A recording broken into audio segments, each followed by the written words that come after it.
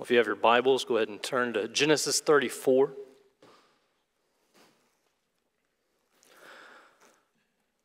This is one of those chapters that reminds us that God's Word does not downplay or ignore the depravity of man.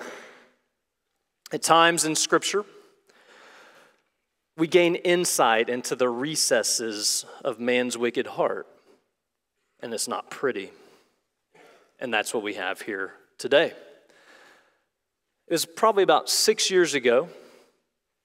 I taught through the book of Genesis to our youth on Wednesday nights.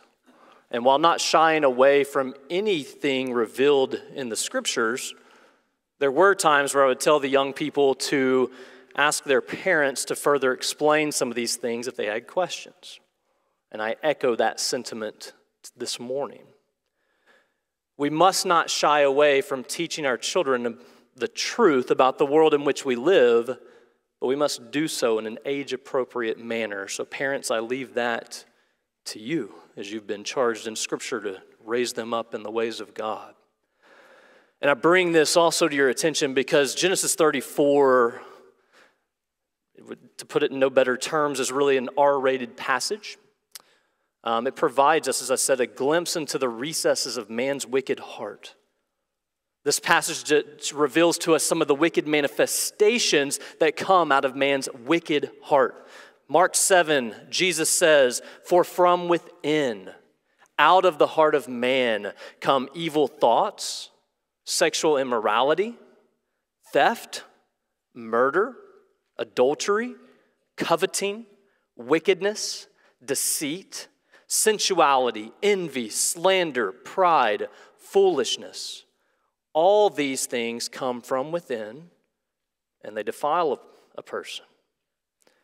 And we will see some of these evil things in Genesis 34. We'll see sexual immorality, evil thoughts, murder, wickedness, covetousness, deceit. And so, while this is a mature passage of Scripture, this passage is not given to us, God did not give it to us to gratify sensual cravings as Hollywood does. Hollywood glorifies evil to gratify sensual cravings. That is not the way the Bible presents these things to us. This passage was given up to us to show us the depravity of man and the unfathomable nature of God's grace. That said, I do not intend to present the details from an R rated approach. I will allude to the wicked acts that we see here in more general terms out of respect for young ears, but neither will I shy away from any of the truths we learn in this passage. So, with that introduction, I'm sure some of you are nervous while others of you are excited. Um, so, let's go ahead and read Genesis 34, and then I'll pray before we go any further. So, Genesis 34, verse 1. Now, Dinah, the daughter of Leah, whom she had borne to Jacob, went out to see the women of the land. And when Shechem, the son of Hamor the Hivite, the prince of the land, saw her, he seized her and lay with her and humiliated her. And his soul was drawn to Dinah, the daughter of Jacob. He loved the young woman and spoke tenderly to her. So Shechem spoke to his father Hamor, saying, Get me this girl for my wife. Now Jacob heard that he had defiled his daughter Dinah, but his sons were with his livestock in the field. So Jacob held his peace until they came. And Hamor, the father of Shechem, went out to Jacob to speak with him. The sons of Jacob had come in from the field as soon as they heard of it, and the men were indignant and very angry because he had done an outrageous thing in Israel by lying with Jacob's daughter, for such a thing must not be done. But Hamor spoke with them, saying, The soul of my son Shechem longs for your daughter. Please give her to him to be his wife. Make marriages with us. Give your daughters to us, and take our daughters for yourselves. You shall dwell with us, and the land shall be open to you dwell and trade in it, and get property in it. Shechem also said to her father and to her brothers, Let me find favor in your eyes, and whatever you say to me, I will give. Ask me for as great a bride price and gift as you will, and I will give whatever you say to me. Only give me the young woman to be my wife. The sons of Jacob answered Shechem and his father Hamor deceitfully because he had defiled their sister Dinah. They said to them, We cannot do this thing, to give our sister to one who is uncircumcised, for that would be a disgrace to us. Only on this condition will we agree with you that you will become as we are by every male among you being circumcised. Then we will give our daughters to you, and we'll, we will take your daughters to ourselves, and we will dwell with you and become one people. But if you will not listen to us and be circumcised, then we will take our daughter and we will be gone. Their words pleased Hamor and Hamor's son Shechem. And the young man did not delay to do the thing because he delighted in Jacob's daughter. Now he was the most honored of all his father's house. So Hamor and his son Shechem came to the gate of their city and spoke to the men of their city, saying, These men are at peace with us. Let them dwell in the land and trade in it. For behold, the land is large enough for them. Let us take their daughters as wives, and let us give them our daughters. Only on this condition will the men agree to dwell with us to become one people. When every male among us is circumcised as they are circumcised, will not their livestock, their property, and all their beasts be ours? Only let us agree with them, and they will dwell with us. And all who went out of the gate of his city listened to Hamor and his son Shechem, and every male was circumcised, all who went out of the gate of his city. On the third day, when they were sore, two of the sons of Jacob, Simeon and Levi, Dinah's brothers, took their swords and came against the city while it felt secure and killed all the males. They killed Hamor and his son Shechem with the sword and took Dinah out of Shechem's house and went away. The sons of Jacob came upon the slain and plundered the city because they had defiled their sister. They took their flocks and their herds, their donkeys, and whatever was in the city and in the field, all their wealth, all their little ones and their wives, all that was in the houses, they captured and plundered.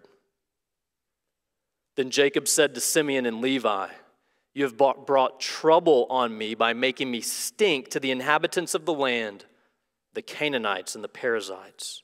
My numbers are few, and if they gather themselves against me and attack me, I shall be destroyed, both I and my household. But they said, Should he treat our sister like a prostitute? This is the word of the Lord. Let us pray.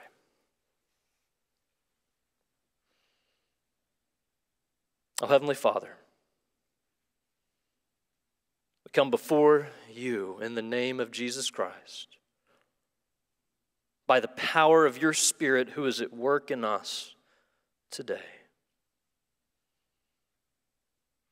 And we're thankful for another Lord's Day. Help us Help us this morning to gaze upon your glory without distraction. Help us to cling to Christ who died on that old rugged cross. Help us to see Christ as we hear your word, and so help us hear your word. Help us apply that which we hear to our lives. Enlighten our ignorant minds to your truth. Bring back those who are careless. Bring back those who are drifting away from you. Strengthen the weak.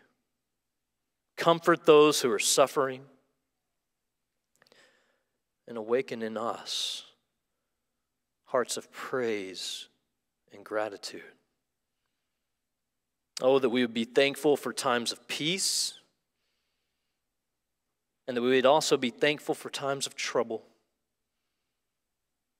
For we know that all things are directed by your sovereign hand.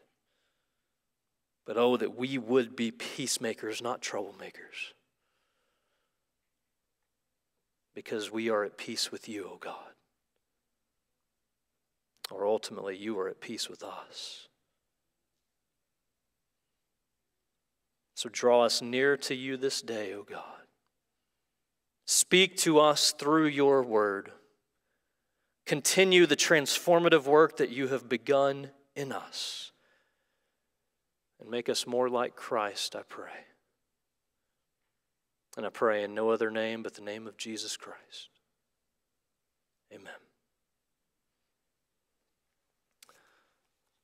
So if you've been at Providence for any significant time, any significant amount of time, I should say, um, or period of time, you know that our normal preaching diet is lectio continua. Now, you might say, I don't know that phrase. That's okay. It's a Latin phrase, lectio continua, meaning consecutive reading. So when we apply this to preaching, we essentially pick up where we left off the week before. So, the steady diet here, as you know, I'm speaking, reminding you, you know how we do this, but for those who are with us for the first time, um, I think this might be helpful. The steady diet for us to walk through books, verse by verse, and then we just pick up where we left off the last week. Now, there are times where we will break for doctrinal sermons. For instance, May 7th, Tommy preached a doctrinal sermon on the Spirit's work and regeneration. So we will preach doctrinal sermons from the scriptures, but we'll also preach topical sermons. I know some of your ears are, are, are alarmed by me even saying that. We'll preach topical sermons. And one of the finest topical sermons I've ever heard was preached by Bruce Stoney back in March of 2012. He preached an expositional sermon, so expositional from the text on hospitality. That was a very encouraging and extremely convicting sermon. I would encourage you to go listen to it on sermon audio. So while we will break for doctrinal and topical sermons, clearly coming from Scripture, expositing the Scripture, we do that from time to time, but our steady diet is lectio continua. We pick up where we left off the week before. And last week's passage at the end of chapter 33 concluded with Jacob arriving safely in the city of Shechem. He is in the land of Canaan. He's finally made it to the promised land. He's finally come back to the land from which he left whenever he went for 20 years and spent with his uncle in Padan Aram. And we even see at the end of chapter 33 that he bought a piece of land from Hamor, Shechem's father. So that provides us with a backdrop for chapter 34 here. Last week we concluded with Jacob buying, this, buying a piece of land from Shechem's father. This week we will see Shechem defiling Jacob's daughter. And in response, we will see Jacob's sons committing genocide. As you can see on page five of your worship guide, I've divided this passage into three sections. It could easily be four, um, but I've divided into three just to help us. The first section um, is the defilement and the proposal. This could be two sections on its own, but we see Dinah defiled by Shechem and then Shechem's proposal to marry her. Then in verses 13 through 24, we see the deceitful arrangement that Jacob's sons make with the sons of Hamor. And then in verses 25 through 31, this is actually another one that could be two parts, but we see Jacob's sons massacre an entire group of men. And then they justify themselves. There are a number of themes we could draw out from this passage. We could spend several weeks here, but we're going to spend just one, and I'm going to emphasize two themes the seriousness of sexual sin and man's desire for justice. Those are the two that we'll draw out as we're walking through. The first one we'll look at, we'll look at the seriousness of sexual sin after we go through um, the, the first section. And then we will consider the seriousness of justice. I'm sorry, the, the man's desire for justice. So let's go ahead and dig in. Verse 1 of chapter 34. Here we see Dinah, the daughter of Leah, whom she bore to Jacob. She goes out to see the women of the land. Remember, at the end of 33, Jacob bought a piece of property It's near the city of Shechem. He's not in the city, he's near the city of Shechem. And here in verse 1, Dinah goes out from Jacob's camp to see the women of the land. Perhaps she's intrigued by the Canaanite women. All throughout the Bible, if you look, the Canaanites are wicked, evil people. And perhaps she's intrigued by their ways. We don't know for sure why she goes out, but it looks like there's a draw on her. She goes out to see the women of the land, and she goes out unchaperoned. Now, we don't know if she was allowed to go. Did she go to her father and say, Hey, can I go? Um, we don't know if Jacob gave her permission or not. But what we see is she's gone out from her father's household and out from his protection. And then in verse 2, Shechem, the son of Hamor, the prince of the land, he sees her. He seizes her. He lays with her and he humiliates her. Dinah's probably a, either a, a kind of mid teenage, um, maybe, maybe late teen, but no more. Not an old woman, not an older woman, a, a young girl, a young lady, possibly, goes into this land on her own. Shechem sees her, seizes her, lays with her, and humiliates her. Shechem is a well respected man in the land. His dad is most likely the patriarch of this people. Shechem must think that he can do as he wants, with whom he wants. As such, he violates Dinah, takes advantage of her, forces himself upon her. Shechem shows himself to be a true Canaanite. He shows no remorse. And as we see in verses 3 and 4, he now wants Dinah to be his wife. Shechem violated her, and now he wants her for himself. His lustful passions are drawn to Jacob's daughter, and he seeks to woo her, as we see with his tender speech at the end of verse 3. He spoke tenderly to her.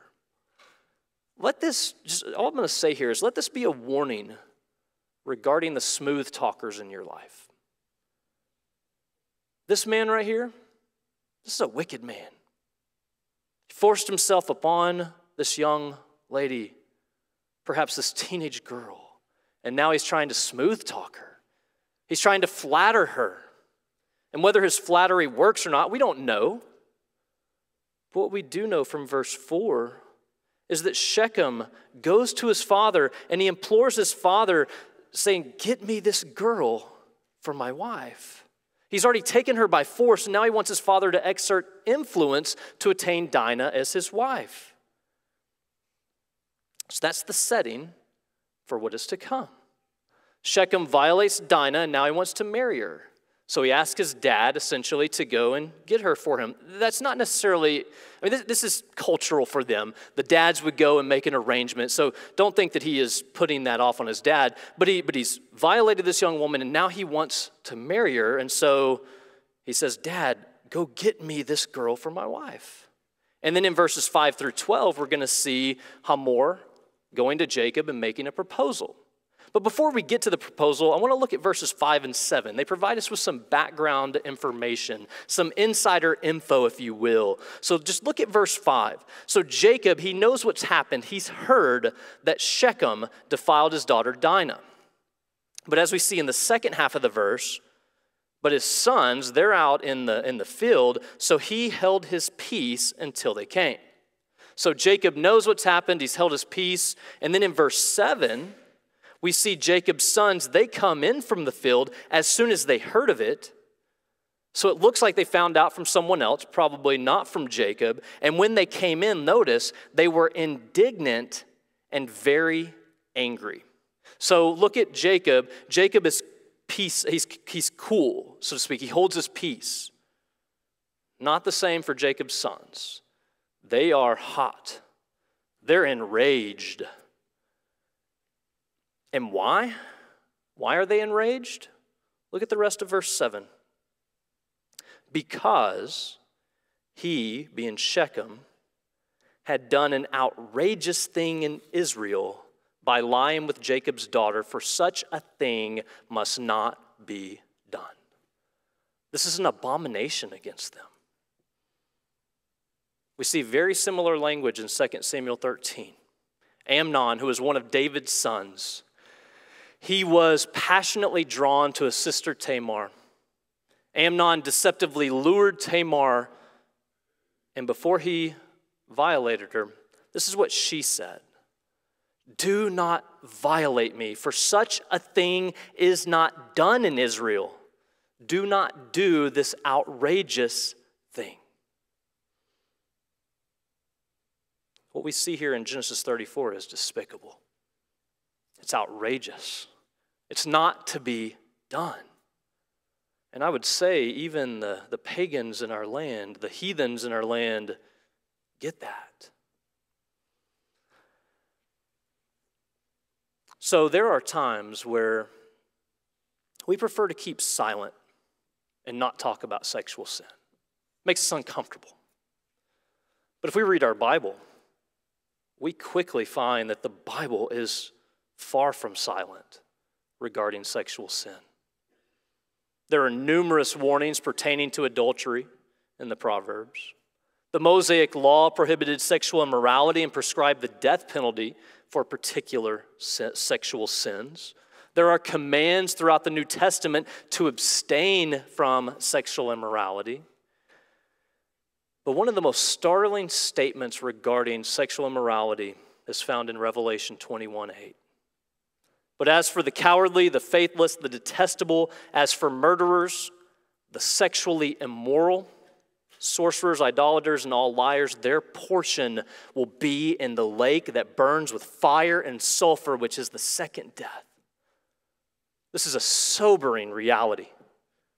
The sexually immoral will not only be prevented from inheriting the kingdom of God, the sexually immoral will be cast into the lake of fire. Sexual sin is not to be taken lightly. Not only because of the judgment that awaits, but because sexual sin is sin against the body. In 1 Corinthians 6, Paul says every other sin. So every other sin a person commits is outside the body. But the sexually immoral person sins against his own body. And the reason this is so serious is because our bodies are made for the Lord. Therefore, sexual immorality is taking the body, the very body which was made for Christ, and you are desecrating this body desecrating the temple. You see, if you're in Christ, then your body is a temple of the Holy Spirit. And sexual sin defiles the temple of the Lord. Therefore, Paul exhorts us to flee from sexual immorality. So, if you're in Christ, remember that your body is a temple of the Lord.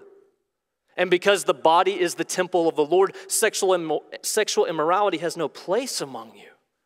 Therefore, heed Paul's exhortation and flee from all sexual immorality. Don't even give it the slightest look. Flee, run, abstain from it. Parents, teach your children to flee from sexual immorality.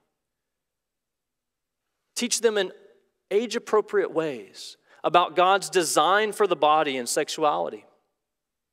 These are truths we cannot ignore. If you don't teach them, someone will. And it'll probably be someone on social media or a peer of theirs. If you don't teach them, someone's going to teach them. Who will teach them? Will you teach them from God's word or will you leave them to this device to find not even find, I mean, what, what are you going to find on here? You know. Teach our children, teach them in age appropriate ways about their body and about sexual immorality. We must teach our children the dangers of sexual sin, but we must also teach them to be satisfied in Christ. John Piper points out one reason lust reigns in so many is that Christ has so little appeal. If you have little taste for Jesus, competing pleasures will triumph. Too many professing believers are so indifferent to Christ and his glory. Too many professing Christians are not satisfied in God. Too many professing Christians are not content in Christ. And that's why we chase the lust of the flesh. We look for satisfaction in that which actually leads to death because we've lost sight of the glory of Christ. And when we no longer behold the glory of Christ, the things of this world become a whole lot more enticing. They look much more satisfying because we've forgotten how great Christ is and how deadly and soul destroying sin is. When we struggle or when we become entangled in sexual sin, it's because we're not satisfied in God through Christ Jesus, our Lord. And if you're currently entangled by sexual sin, I exhort you to fight. Jesus, figuratively speaking, says to cut off the eye, cut out the eye, cut off the hand. Because it is better to lose one of your members than to take your whole body into hell. Jesus is not saying you should literally do this. You could literally do that and still lose the, the battle. Jesus is using extreme language to say, fight against the lust of the flesh, mortify sin. Do whatever it takes to not let sin reign in your mortal bodies because you have died to sin and your life is hidden with Christ in God. But what if your life is not hidden with Christ in God? What about those of you who are here today who struggle with sexual sin but are not found in Christ. Just know that there is hope for you. There's hope for the sexual sinner. This does not diminish the seriousness of sexual sin, this elevates the amazingness of God's grace. Paul's words in 1 Corinthians 6, this is actually on the front of your bulletin or worship guide. I'll just read these words. Or do you not know that the unrighteous will not inherit the kingdom of God? Do not be deceived, neither the sexually immoral, nor idolaters, nor adulterers, nor men who practice homosexuality, nor thieves, nor the greedy, nor drunkards, nor revilers, nor swindlers will inherit the kingdom of God. And such were some of you. But you were washed you were sanctified, you were justified in the name of the Lord Jesus Christ and by the Spirit of our God. Just listen to those words. Such were some of you, but you were washed, sanctified, justified in the name of the Lord Jesus Christ and by the Spirit of our God. The only hope for the sexual sinner is Christ. For in him you will find forgiveness, in him you will find cleansing and in him you'll be transformed into one who is fit for the kingdom of heaven. And if you're wondering, there's, you're thinking, there's no hope for me, no hope for me at all, you can just look around you and see people who fit this very reality. Anyone belonging to this church, such were some of you. Sinners, wicked sinners, enemies of God, sinning in all sorts of ways but you were washed, sanctified, justified in the name of our Lord Jesus Christ and by the Spirit of our God. Thank God for His amazing grace. Much more could be said on this, but for now, let's return to our passage. So, looking back, Jacob and his sons, they're aware of what's taken place. Now we see Hamor coming to Jacob, coming to his sons to make a proposal on behalf of Shechem. In verse 8, he asked Jacob and his sons to please give Dinah to Shechem as his wife because Shechem's soul longs for her. But Hamor doesn't stop there. He sees this as an opportunity. He does not, as, this, this should, I, I put this here just so you'll understand the gravity. He does not denounce Shechem's act as wicked. Instead, he sees this as an opportunity. In verses 9 through 10, he lays all his cards on the table, figuratively speaking. He wants their tribes to intermarry. He wants these two tribes to live together as one. He sees this as an excellent opportunity. Remember, Jacob has greatly prospered. I mean, he has much. So there's a lot to be gained here. So Hamor makes this proposal Give Dinah to Shechem, give us your daughters, so your women, give us them in marriage. We'll give you our young women, our daughters in marriage, and you can dwell with us. That's the proposal. And while this might seem like a, gener- a generous offer, just look down at verse 23. Here we see Hamor's true intent. When he and Shechem stand before the men of the city, they say, Will not their livestock, their property, and all their beasts be ours? Hamor is an opportunist. He sees this as a profitable transaction to make. He doesn't condemn Shechem's act. In fact, it's quite possible that he condones it. Just look at verse 27. Look at the language here. The sons of Jacob came upon the slain and plundered the city because they had defiled their sister. They, yes, I thought it was Shechem. Well, there's possibility that this they is included here to show us that this act was condoned. I would say this passage gives us insight into the wickedness of the Canaanites. They not only practice such abominations, but they give approval to those who practice such things. And here, Hamor is proposing intermarry with us. To Jacob's children, hey, we, we, we will give our daughters to you, you give your daughters to us. If you've been tracking with us through the book of Genesis, you'll be aware that intermarriage comes into play quite frequently. And it's not because of ethnicity. This is, that's not the issue here. The issue is not ethnicity, the issue is immorality and idolatry. The people of God are to refrain from marrying the Canaanites not because of their ethnicity, but because of their rampant wickedness. So you should be like, wait, wait, whoa, whoa, whoa, whoa, whoa, what's going on here? Like, Jacob, surely you're going to say no to this, right? Well, we'll see. So after Hamor makes his proposal, Shechem, it's his turn to speak in verse 11. Shechem also said to her father and to her brothers, Let me find favor in your eyes, and whatever you say to me, I will give. Ask for me as great a bride price and gift as you will, and I will give whatever you say to me. Only give me the young woman to be my wife. I mean, Shechem is willing to pay whatever the price is. He's willing to pay a steep price because he is so infatuated with Dinah. He wants her so badly, he'll give them whatever they want.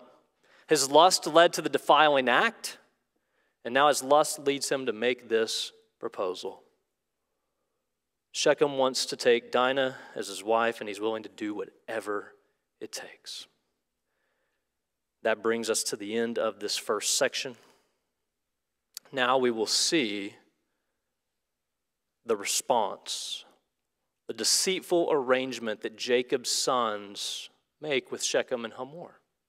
Let me just point out that Jacob is not the one making this arrangement. We're not going to see Jacob speak until verse 30. He seems to have gone silent. So it's Jacob's sons who make this deal.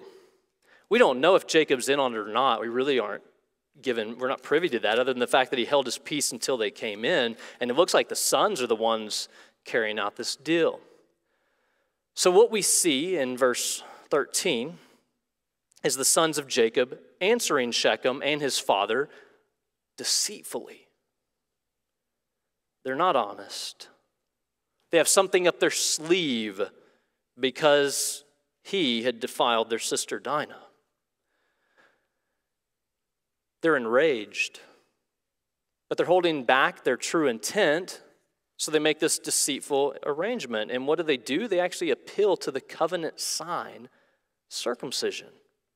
Back in Genesis 17, God told Abraham to circumcise every male in the household as a sign of the covenant that God has established with him and with his offspring after him. And here, Jacob's sons tell Shechem and Hamor that their families cannot intermarry, not because of immorality and idolatry. No, no, no. We can't intermarry with you because your males aren't circumcised. They say in verse 14 that we cannot do this thing to give our sister to one who is uncircumcised would be a disgrace to us.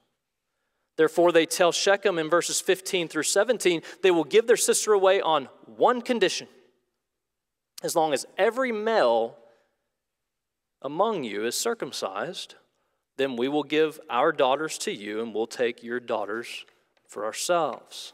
So that's the deal circumcise every male in the city, or the deal is off the table. Well, as we see in verse 18, this pleased Hamor and Hamor's son Shechem. This pleased them. I mean, as such, uh, we read that the young man in verse 19, he did not delay to do this thing because his eyes were set on Dinah because he delighted in Jacob's daughter. So he didn't delay because he's so his eyes are so set on her. And then in verse 19 at the end we read now he was the most honored of all his father's house. Shechem treated Dinah with dishonor, yet he is one who is treated with honor. And because he is most honored, the men of the city, they listen to him. I mean, th- my understanding of this insertion is here really to show us why the men are going to listen. Well, this is someone who is highly exalted in this city because he and his father are about to go before the men of the city, and they're about to plead with them all to be circumcised. They begin by telling the men in verse 21 these men are at peace with us. They don't perceive any sort of deception. They're saying they're at peace with us. They're not, look, we know something bad has happened, but, but they seem to be over it. They're, they're at peace. We're not at war. Nothing like that going on. And so they then tell the men about this arrangement. And then, as we read in verse 24, and all who went out of the gate of the city listened to Hamor and his son Shechem, and every male was circumcised, all who went out of the gate of a city. They convinced them. Have this procedure done, and we will intermarry with them. We will live among them, as we see in verse 23. All their livestock, their property, and they be, their beasts will be ours. The men of the city were so focused, their, their eyes are so focused on what they can gain here, they sense nothing of the deception. They don't pick up on this con because they're focused on the women and the possessions that are to be had. So every male was circumcised. And that sets us up for the final section, verses 25 through 31. It's now the third day, as we see in verse 25. The men have been circumcised, they're sore, they're recovering from surgery, so to speak. They're in no state to defend themselves, and they're not suspecting any sort of attack. Why would they? I mean, these men have come in and made an agreement with them. They're not expecting Simeon and Levi and perhaps a militia to take up swords and kill them all, as we see in verses 25 and 26. But that's what happened. Verse 26 they killed Hamor and his son Shechem with the sword, and then they took Dinah. Not only that, we see back in 25 that they came against the city while it felt secure and they killed all the males. They killed all the men of the city, including Hamor and Shechem. And they took Dinah, their sister, and they went away. We also see not only that, but in verse 27, they plundered the city, meaning they took what they wanted, like conquering armies would come in and take the spoils of war. They ransacked the city and took what they wanted. And why did they do this? Verse 27 at the end because they had defiled their sister. This is vengeance. This is not justice. They've killed the men of the city. And as we see in verse 28 and 29, they took their livestock, their wealth, their little ones, and their wives. They came upon all the men of the city like barbarians. They killed all the men. They took what they wanted. And in response to this, Jacob says to Simeon and Levi in verse 30, You've brought trouble on me by making me stink to the inhabitants of the land, the Canaanites and the Perizzites. My numbers are few, and if they gather themselves against me and attack me, I shall be destroyed, both I and my household. This is the first time Jacob speaks in this passage. He said nothing about his daughter being sexually assaulted. He said nothing in the negotiations, but now he speaks to his reputation among the Canaanites. He's concerned with how he will be perceived among the people, and he's worried they'll retaliate against him. To which his sons respond, verse 31 Should he treat our sister like a prostitute? Jacob cares about his reputation. His sons care about Dinah's honor. By no means am I approving their violent crime. But this does show the difference between Jacob and his sons. Jacob has been passive, while his sons zealously brought reproach upon the family in defense of their sister. Jacob says nothing, while his sons go to the extreme. Jacob's passivity opened the door for his son's misguided zeal. Jacob's sons need him to set the example here. They need him to teach them in righteousness. I mean, that was what God told Abraham back in Genesis 18 that you will command your children to keep the way of the Lord by doing righteousness and justice. So, Jacob, that would, he would be a, a, a beneficiary of that, to keep passing that along. So Jacob's sons need him to bridle their zealousness. They have a zeal without knowledge, and their zeal to restore their sister's honor brought reproach upon the entire family. Younger men need older men to bridle their zeal. Older men need younger men to remind them of the zeal for life you once had when you were a younger man. On just a side note, it infuriates me when I see churches splitting based on music styles, effectively separating the young and the old when we need one another. And we're reminded of that here in Genesis 34. Jacob's sons need him to step up, but he didn't. And now, out of their zeal, they brought reproach upon Jacob and his entire household. While Jacob's concern is for his reputation, he does have a point. This is not good for his household. His sons have made him stink, they've made him a stench among the peoples of the lands. They should be a people of peace. Yet now they've shown themselves to be a people of murderous rage. So, out of their desire for justice, they've shown themselves to be vengeful. As one commentator notes, the recompense that Dinah's brothers considered appropriate was the forfeiture of land, uh, I'm sorry, of life and goods of the entire city. While this punishment, the punishment given by Simeon and Levi, and perhaps a militia, this punishment is not proportionate to the crime. But while that is so, we cannot deny that Jacob's sons, they want justice. They're partial and unjust, nonetheless, they want justice. But why do they want justice? Because a wrong has been done.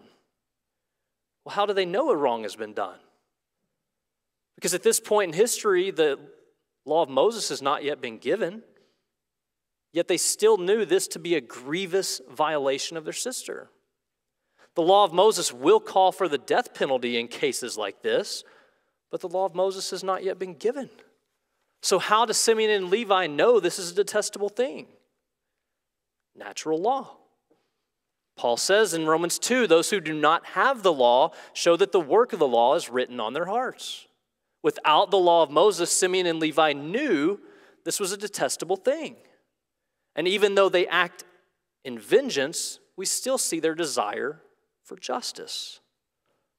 This is evidence of natural law. Some will call this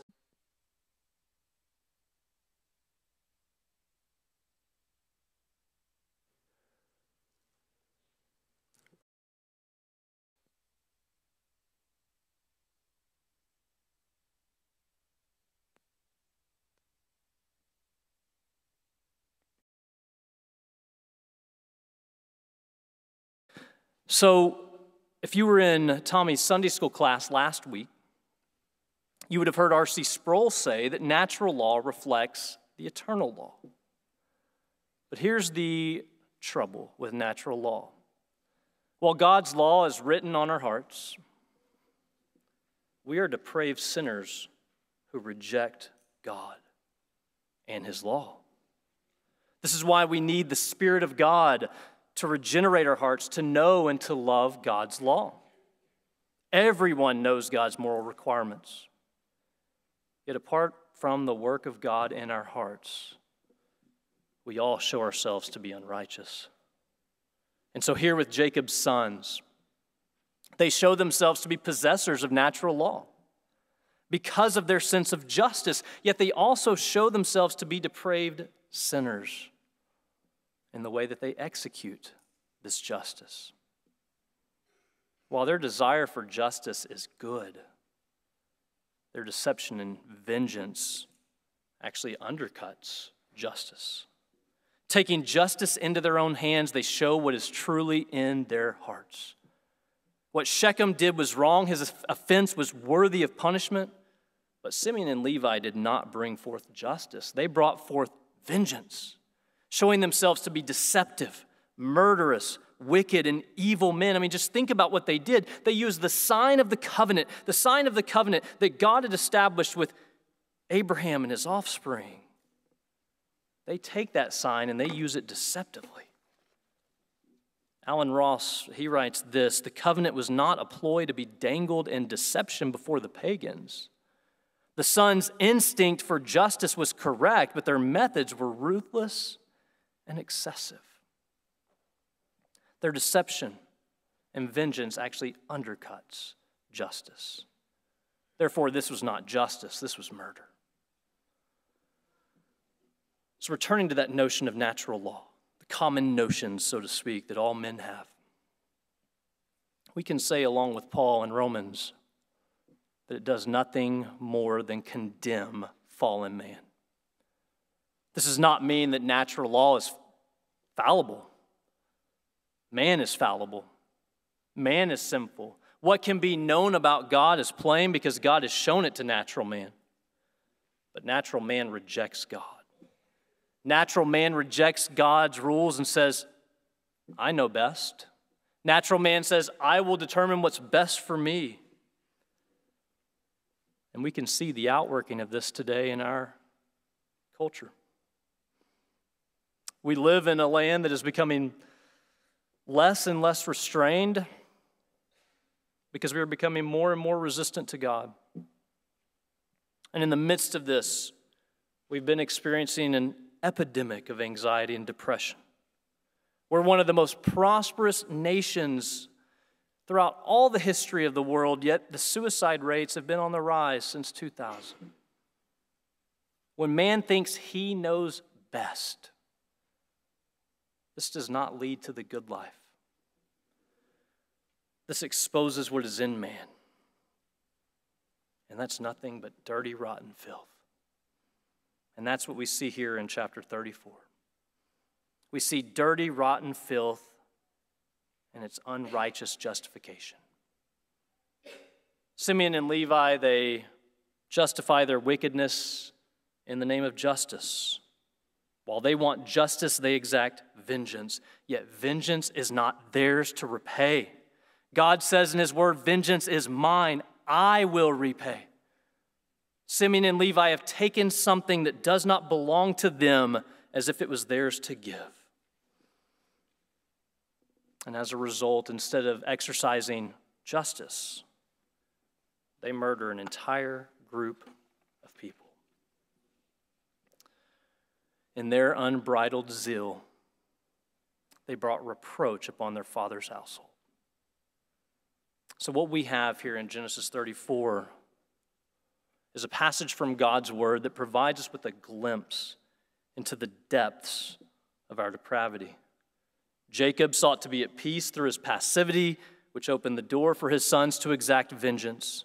They deceived Shechem and the people, and they set them up for slaughter.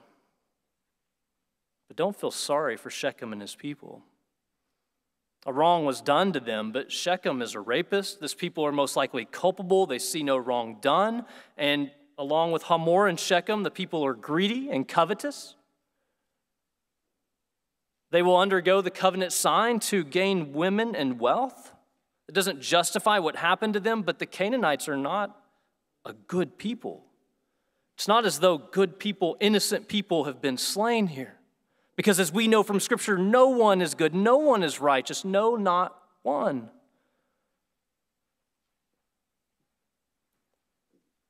And what we're reminded of here, we're reminded of that truth. We're reminded of what the world is like apart from God. We see what man is like apart from God. In fact, there's no mention of God in this passage. But passages like this are not to leave us without hope. Passages like this cry out for the righteousness of God. Passages like this remind us that apart from Christ, no one is righteous, no, not one. Even when we desire that which is right, we find that all our righteous deeds are like polluted garments. As such, passages like this remind us that Jacob and his sons are not the ones to bring blessing upon the earth. Remember God's promise that's been reiterated all throughout the book of Genesis. He told Abraham, Isaac, and Jacob, In your offspring shall all the families of the earth be blessed. So far, the offspring of Abraham, Isaac, and Jacob are a far cry from that promise. Instead of bringing blessing, they've brought curse. And that reminds us that this blessing will come from another. This blessing will come from one who is truly righteous. This blessing will come from one who is not wicked like the sons of Jacob and the sons of Hamor. This blessing will come from one who is powerful and willing, not from one who is passive like Jacob. This one, as we know, is none other than Jesus Christ. During his first coming, he laid down his life sacrificially to forgive the sins of his children. In his second coming, he will exact vengeance upon all unrighteousness. And when he returns, no one, and I mean no one, will be able to stay his hand. No one will be able to stand before him. For none are righteous. Therefore, your only hope is to be found in him. Your only hope is to trust in Him, to run to Him for refuge. In Him there is rest, in Him there is peace. For He absorbed the justice of God in your place. And in Him you'll be saved from the day of wrath when God will justly deal with all the ungodly and all the unrighteous. So while it is good and right to desire justice. Just remember that apart from Christ, you don't want justice, you want mercy. And if you're in Christ, you're a recipient of such amazing grace and mercy. God owes you nothing more than a fierce hand of judgment, yet his wrath has been stayed against you because of Jesus Christ. And in this way, God shows himself to be just and the justifier of the one who has faith in Jesus. So while Genesis 34 teaches us about the wickedness of man, it also reminds us of God's electing grace. God did not choose Jacob and his family because of their righteousness, for they are no different than the pagans of the land. He chose them to make known the riches of his mercy and grace. And the same applies for us today. We too were once dead in our trespasses and sins. We were by nature children of wrath, like the rest of mankind.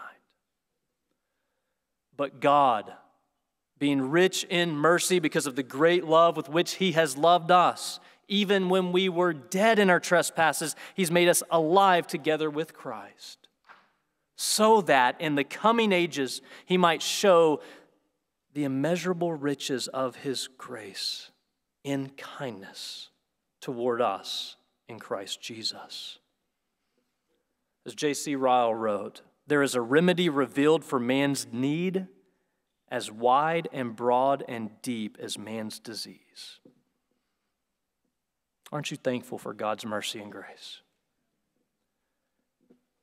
And if you're not currently a recipient of God's mercy and grace, look to Him and be saved. God is a merciful God. He will not turn away any who come to Him for pardon. He will receive you unto Himself. He will pardon all who come to him and confess him as Lord and believe in their heart that God raised him from the dead. You will be saved. He is not a God who says, you know what, let me, let me look. What have you done? What have you done? No, God will pardon you in Christ Jesus because he's done the work that you could not. Your sins, no matter how terrible you might think they are, Christ is greater than all of your sin. Be thankful for God and His mercy and His grace. Let's pray.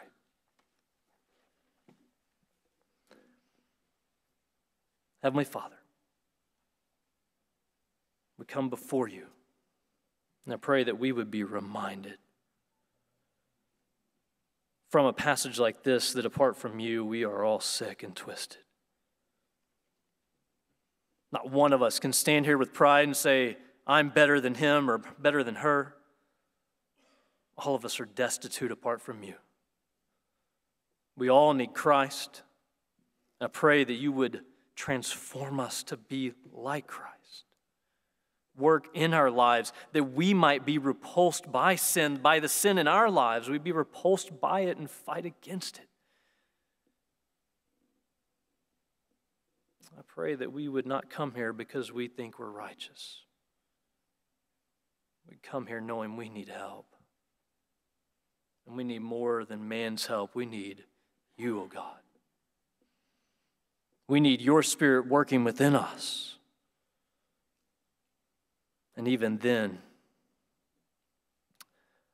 on that last day, we will not stand before you because of what we've become. We'll stand before you because of Christ, who is at work in us. Help us to cling to Christ who died on that old rugged cross. Help us to rejoice, to live the life that you have called us unto. You've said we've been made alive in Christ. Help us to live that life, to not to stop going back to the ways of our old man, the ways of sin and death. Help us to walk the way that leads to life and peace in your spirit. Help us, I pray, in Jesus' name. Amen. So at this time, if you'll stand for the benediction. It's from Romans 15, 5 and 6. I'll read this and then you'll be dismissed. So may the God of endurance and encouragement grant you to live in such harmony with one another in accord with Christ Jesus, that together you may with one voice glorify the God and Father of our Lord Jesus Christ. Amen.